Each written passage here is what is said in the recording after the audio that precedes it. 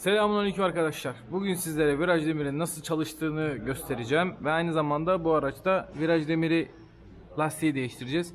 Arkadaşlar viraj demiri lastiği zamanla viraj demirinde de öğütebilen bir malzeme. Nasıl öğütüyor? Bunu söktüğüm zaman size göstereceğim. Viraj demir lastiklerinin marka model olarak e, üretimler arasında kalite farkı çok fazla. Ne- neden diyeceksiniz? Nasıl anlaşılıyor bu? Kış aylarında daha öncesinde çektiğim videoları biliyorsunuz. Bu viraj demir lastikleri genelde kış aylarında soğuğu gördüğü zaman arkadaşlar garç garç böyle ilk e, nasıl diyeyim otoparktan çıkarken ya da ilk arabayı çalıştırdınız, akşam yatırdınız, sabah çalıştırdınız. Viraj demir lastikleri böyle geçerken kasisten garç garç yapıyor. Bunu genelde soğuk memleketlerde arkadaşlar daha çok görürsünüz. Soğuk memleketlerde yaşayanlar zaten bilirler. Viraj demir lastikleri değiştirseler de bu sorunu çözemezler. Bununla birlikte yeni yeni üretilmiş, geliştirilmiş viraj demir lastikleri var. Nedir? Bunun içerisine kauçuk işte farklı bir malzeme kullanıyorlar. İşte ona saydam bir madde yapıyorlar ses yapmasın diye daha böyle yumuşak daha böyle viraj demirin içinde gezebilen e, güzel maddeler yapmaya başladılar ama bu her araba için geçerli değil. Özellikle bu araç mesela eski model bir Toledo. Bu araçta o geçerli değil. Şimdi zaman aşımına uğradığı için bu metalin içerisinde çalıştığı için arkadaşlar viraj demiri de zamanla eriyor. Şimdi bunu söktüğüm zaman size daha detaylı bir şekilde göstereceğim. Viraj demiri de eriyor. Ne oluyor? Peki sadece ötme mi? Yoksa başka bir problem yaratıyor mu bize? Bakın şimdi ön tarafa geldiğinde Zeyrot var şurada görüyorsunuz. Bu plastik bir Zeyrot. Toledo'lara has, Volkswagen'e has. Kolay kolay bazı arabalarda göremezsiniz. Bunu normalde şöyle uzundur Zeyrotlar. Bunlar da bu şekilde plastik.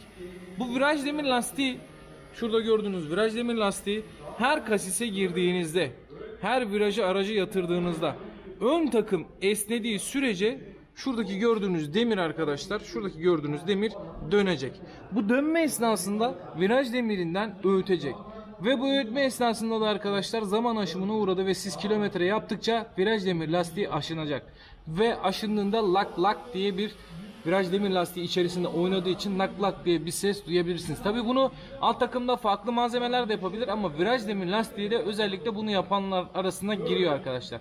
Viraj demir lastiği. Peki ne oluyor? Söktüğümüzde viraj demiri eğer normalinden fazla aşınmışsa biz bunu müşterimize belirtiyoruz. Ama aşınma çok fazla değilse arkadaşlar yeni viraj demir lastiğini takıp aradaki boşluk bir şekilde almaya çalışıyoruz. Şimdi bu aracımızda nedir ne değildir onu bilmiyorum. Ama üzerinde siyah bir boya olduğunu görebiliyorsunuz. Şöyle kazıdığımız zaman. Bakın bu siyah bir boya. Şimdi bu boyanın üzerine biz viraj demir lastiğini taktığımızda ve sürekli oynadığında ister istemez bu boya kaldıracak ve bu boyadan sonra çıkan metale zarar verecek. Veriyor da. Bunun için komple viraj demirini mi değiştiriyorsunuz? Yani birçoğu arkadaşımız bunu değiştirmiyor.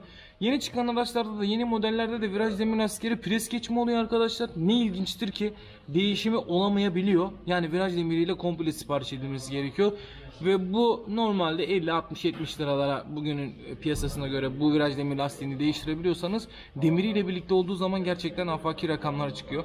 Örneğin yan sanayisi 700 800 orijinali 1000 1200 lira civarında bulabiliyor arkadaşlar. Bunlar gündemde olan şu anki fiyatlar tabi artması, kuru vesairesi de duruma var. Bir de eee Aracın marka modeline göre de mutlaka bu fiyatlar değişiyor arkadaşlar. Güncel değil. Şimdi viraj demir lastiği peki nasıl susturacağız? Kışın ne yapmamız gerekiyor? Aslında pek bir şey yapmanız gerekmiyor. Yeni de değiştirseniz ötüyorsa arkadaşlar belli bir süre sonra bu ötme kesilecektir. Örneğin aracınız 2-3 kilometre kullandınız esneme yaptı ve viraj demir lastiği ısındı. Bu ses kesinlikle gidecektir. Onun haricinde buna pek yapılabilecek bir şey henüz gündemde yok. Gelişmiş viraj demir lastiği eğer bulabilirseniz aracınız için arkadaşlar bunu takabilirsiniz. Ama yoksa dediğim yöntemi kullanarak aracınızı kullanmaya devam edeceksiniz. Şimdi ben bu viraj demir lastiğini yerinden sökeyim. Bakalım demirimiz gerçekten aşınmış mı aşınmamış mı bunu sizlerle paylaşacağım arkadaşlar. Düşmüş mü düşmemiş mi? Yani şurada bir pay var. Bu düşmüş mü düşmemiş mi bunu sizlere göstereceğim. Hemen şu tarafa geçeyim. Burada da viraj demiri var. Bakın mesela bunda şöyle oynatmak istediğimde arkadaşlar bu lakır lakır ses dediğimiz olay bakın bunda var. Hemen şöyle ah, hem ışığı hem şeyi gösteremiyorum. Bir dakika. Şöyle bir şey yapalım. Kamera ile birlikte ışığı göstereyim. Şimdi şu bakın şu tak tak tak yanlış yere tutuyormuşuz. Anam. Evet araba altında çekim yapmak da ciddi anlamda zor. Bakın şunu oynattığım zaman içinde oynuyor. Bu oynamayı kesmek için de viraj demirini değiştirmek, viraj demir lastiğini değiştirmek gerekiyor. Tabi viraj demirini de sizinle birlikte bakacağız. Yemiş mi yememiş mi diye. Bunlar tabii ki de zamanla kilometre yapmış araçlarda çıkan problemler. Bunun bir çözümü yok arkadaşlar. Yani adam size diyor ki malzeme aşınmayan bir malzeme yok. Çalışan malzeme pas tutmaz ama aşınır diyoruz ve hemen viraj demir lastiklerini söküp demiri bir kontrol ediyoruz. İlk etapta aşınan yerin viraj demir lastiğini şöyle çıkarttım. Hemen viraj demirini göstereyim. Kalınlığı kurtarır derecede arkadaşlar. Neden? Çünkü bu viraj demiri lastiği, viraj demiri özür dilerim normalinden kalın. Yani bazı araçlarda bu ciddi anlamda ince olabiliyor arkadaşlar. Bizimkisi kalın, yememiş. Gördüğünüz üzere. Hala aynı kalınlık devam ediyor. Hemen şöyle yakayım ışığını. Sadece boyası dediğim gibi şurada bir tırnak var. Boyası düşmüş. Biraz. O da normal. Şu da viraj demir lastiğim. Hemen şöyle göstereyim. Normalde mesela boyalı olan bölümde bu olsaydı boşluk yapar mıydı? Evet sıkı tutuyor. Ama bunun da içi gitmiş arkadaşlar. Bunun da içi gitmiş. Hemen şöyle göstereyim.